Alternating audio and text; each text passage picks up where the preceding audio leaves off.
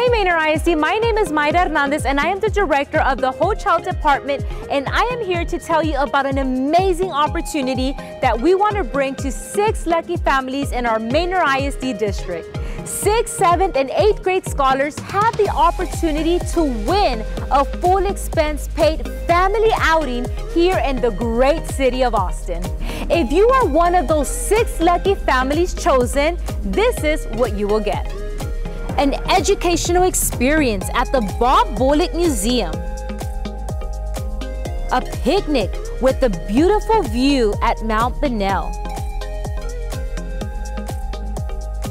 some fresh purchases from the farmer's market in downtown Austin, a captivating sight at the Inner Space Caverns, and a boat ride at Zilker Park.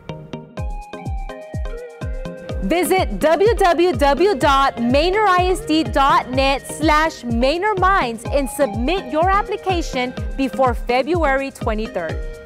It's time to get your passport stamped to Manor Minds.